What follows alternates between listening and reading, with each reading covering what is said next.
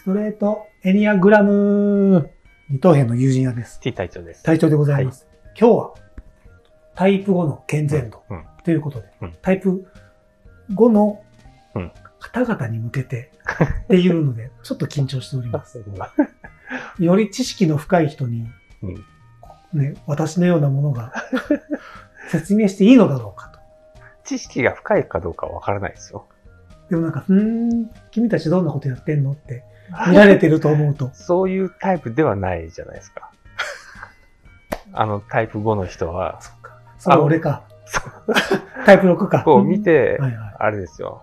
あ、もう全部知ってると思ったら、ペッペッて消す。ペッてペッて時間の無駄って。釣りっていくタイプなんで、少しでも引っかかるように。はい。はい。こういうのも多分無駄なんでしょうね。うん申し訳ございません。で、タイプ5の人、うんあの、あ今日もこのエニアグラム9つの性格診断、性格タイプの分析、あとは、えー9つの性格タイプというのを元に、うんあのやっていきたいと思います。このタイプ5の人、どんな人かというと、えー心の奥底にある欲求としては、知的に有能でありたい。うん自分を取り巻く世界がどのようになっているのかを知りたいという欲求の強い人たち。うん。で価値観の基準は、頭で納得いくかどうかがうん重要ですと。うん。それにどんな意味があるのか。うん。物事の意味を問いますと。うん未知のことに関してはうん、知的直感が働くことがありますっていう人。人との付き合い方としては、えー孤独を求めます。人から離れてと。うん自分の内面にある思考や空想の世界に引きこもろうとする傾向がありますと。人に惑わされるよりは、機械や物、うん動物、うん自然を相手にしてた方がいいと。うん。うん。気になることをうん。とことんやっていきたい。うん。なんで、物事の受け止め方としては、冷静に、客観的に受け止めて、論理的に筋道を立てて考える。うん。なんで、この、有利タイプでうん。合理的なうん。方ですと。うんで、タイプ5の方々が、こどうしてこうなったかっていうか、ままあでもまあ、逆な気はしますよあ、ね。なるほど。まあ、こうだった、あの、タイプ5生まれつきの気質があったかうんら、こう感じたっていうことだと思うんですけどうん、この幼児期の原点としては、タイプ5は、両親、あるいは両親に代わる人物の双方。父親、母うん親的な役割、まあ、それがちゃんとした親じゃなくてもいいんですけど、うん。父親、母親とうん。愛憎半ばしつつ結びついているうん。と書いてあります。うん主要の要素となるのは、タイプ5は、うん。両親に対する矛盾した感情が出発となって、うん人々に対して懸念を抱いており、うん。他人から与えられるかもしれない脅威に対してうん。うん。気づくことで自分の安全を守る。うん。矛盾しているうん。うん。っていう人たちから与えられるかもしれないうん。脅威から身を守るためにうん。どうやって守るかっていうのを学んできましたと。うん。うん。なのでその他のタイプと同様、タイプ5の性格的形成には遺伝的な土台もあるんでしょうけども、うんこのタイプの場合はか活動過剰の脳のうん化学反応がとりわけ重要な役割をうん。そうやって演じさせていると。うん。なんで、あの思考タイプうんなので、やっぱりその基本的にはうん不安不安。からどう身を守るかっうん。ていう、うん。その身を守る手段が知識をとかスキルとかを身につけるっていう。ところにうん。あると。うんで、えーと、この方々の、うん。えーとまあ、健全度。うんやはりその、こういった幼児期の関わり方うんっていうのが、その、健全度のどこに中心が行くか。うん。基本やっぱ3段階らしいんですけど、うん。うん。その3段階がどこに中心に行くかっていうのがあるみたいです。うんドン・リチャード・リストさんが言ってます。うん。で、えっ、と、健全度として、えーと健全な段階。うんまあ、人ではないんですね、多分。多分、超越した本当に人たちレベルなんですけども、うん。健全の段階値としては、先駆的な洞察者、うん。理解力とあります。で先駆的、うんこの人から離れた人たちがうん先頭を切って走ってるうん。っていう姿はもう8なんですよね。うん。この統合の方向が。なので、そういう、うん。あの、健全になっていくと、うん。そういう風になっていくと。うん。理解力とあります。うんで、2が洞察力の鋭い観察者。うん関わり合い。うん。関わり合うんですね。うん。関わ、有利が。有利が、人から最も遠いと言われたうん5が関わり合うと。で、健全度の3が、えー博識の熟練者。うん。専門領域、うん専門知識と書いてあります。ここ3つがうん健全な段階。多分、普通で多分ここに行くって人は多分いないと思います。多分、一部こう3人あが。っていうのは、はいあのドン・リチャード・リソさんの本でも、この3、4、5うん。っていうのが基本になるっていうのは結構、うん。あの、両親とも関わり方で、っ。ていうのは書いてありました。うんなんか、いい人はなんか3、4、5っていううん。ようなことが。うんで、通常の4、5、6。うん通常の4としては、分析的な専門家。うん分析。うんもうこれ、もう5ですすよ。ごいですね。ザ、ザ5ですよね。ね。で、あですかね。なんかこの、ザじゃねえぞって、ごめんなさいね、もうビビってます。で、5の、うん5としては、熱心に身を入れた理論家、うん。没頭とあります。うん。うん。もう、深ね。濃く、濃くなってきますね、どんどん。で、6、通常の一番下、えーうん物事を極端に単純化する人、。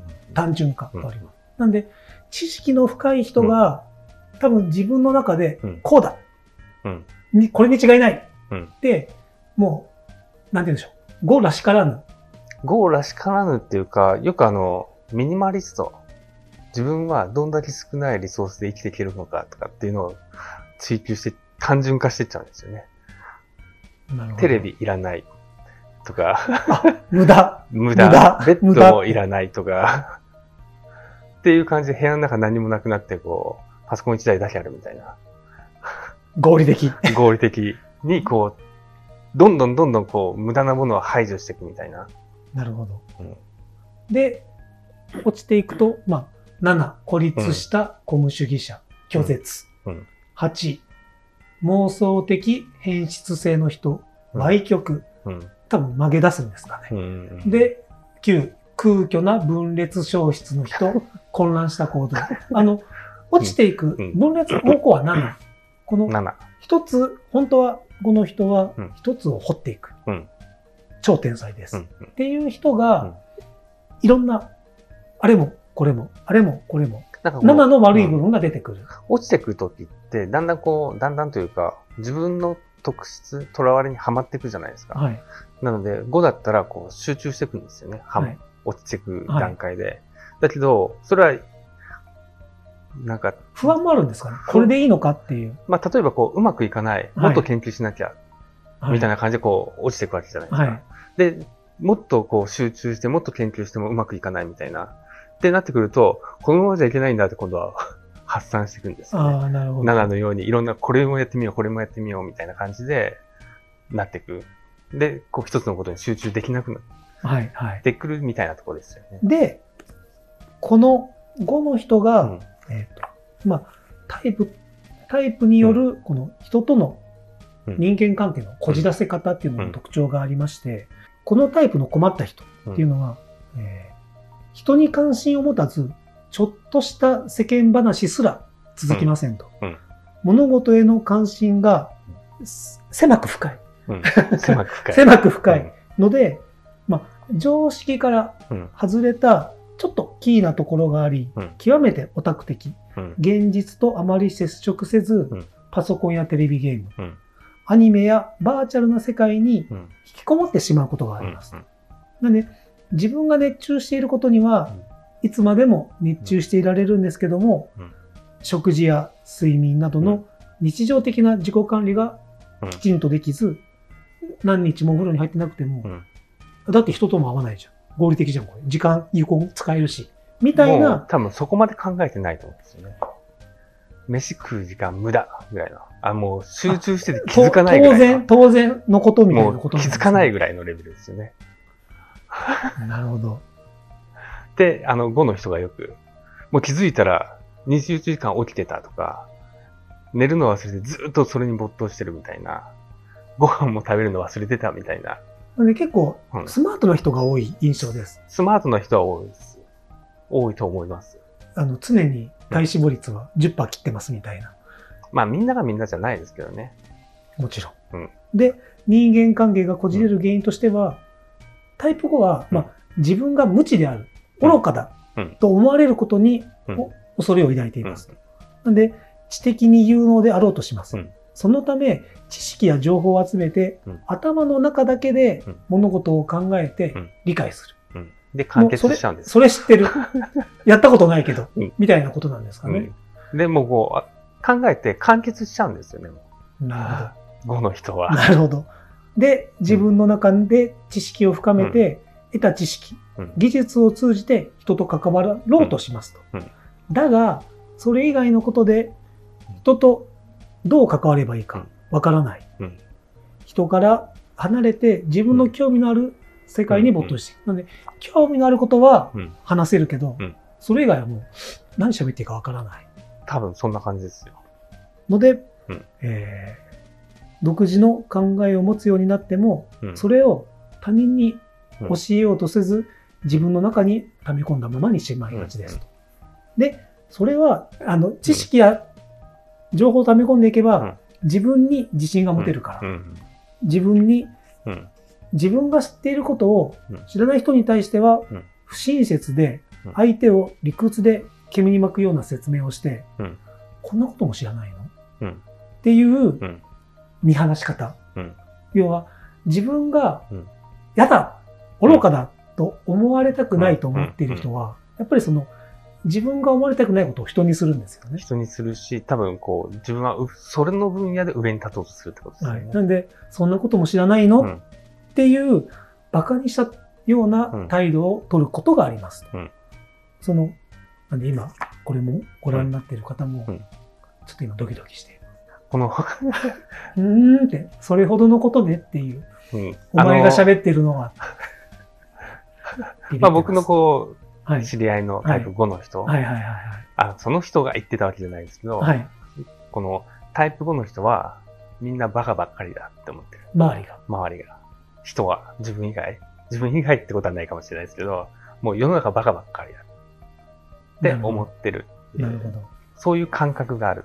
で、うん。まあそのタイプ5の人たちに向けうん。た健全度が下がる時の注意点うん。としましては、まあ人との関わりが少なくなって、うん現実から逃れるように、ん。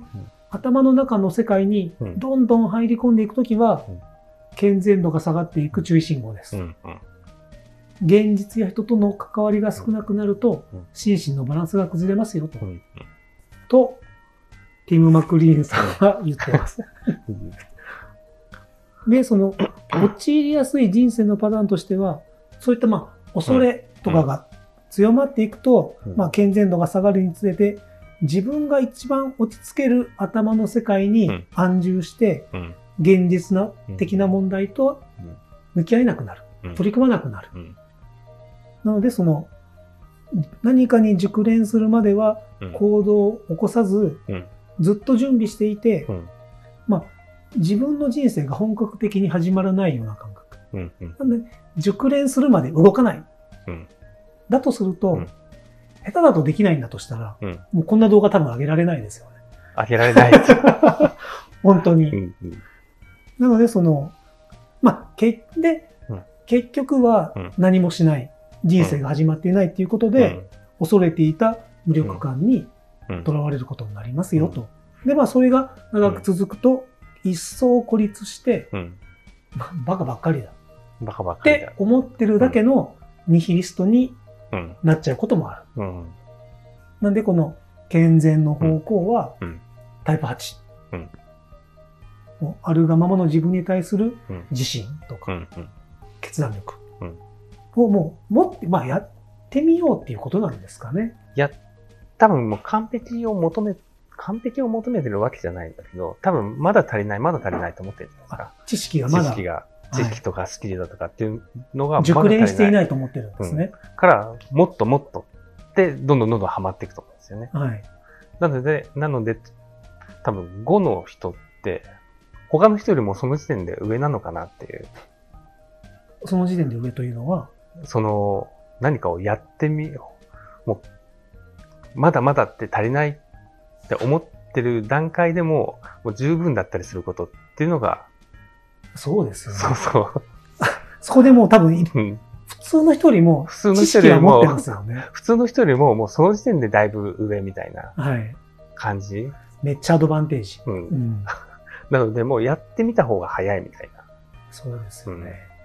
結局こう出さないから認められなかったりとかするわけじ知らないいゃなですか。んですもんね。周りは。周りは、これじゃまだ出せないって自分の中にずっと溜め込んでるので、周りの人は結局知らない。この人がこんなに知ってるんだっていうのを知らないから、はいまあ認められることもないわけじゃないですか。はいはいはいで、。その状況に落ち込んでいくわけですよね。自分はまだダメ、こう、うまくいかない。自分の人生うまくいかないみたいな。だから出した時点で、うまくいき出すと思うんですよね。5の人って。なるほど。うん。なんで、まあそのうん、成長のためのうん。アドバイスとして書いてあるのは、うん、そうですね。考えていることうんをうん人と分かち合う。うん。うん。ま言そううそうそう。いう。こんなこと考えてますっうて。そう。これはこうですよ。自分の溜め込んでる知識とかって多分他の人にはすごい役に立つと思うんですよね。はいはいもう溜め込んでるんで。はいそういうの出して、出していけば、相手は多分きっとすごい喜ぶはい。はずなんですよ。あとはその、まあうん、何事もうん。自分の力でやろうって思ってしまいがちですがまあ、ちょっと助けを求めてうん。いる。周りの人に。全部書いてあることはそうですね。あのうん、人に、人に話してくださいっていうことがん、多分9つのタイプで一番自分に向いてるって。7項目が全部そうです。人と分かち合うっていう。あと体を動かすっていうことですかね。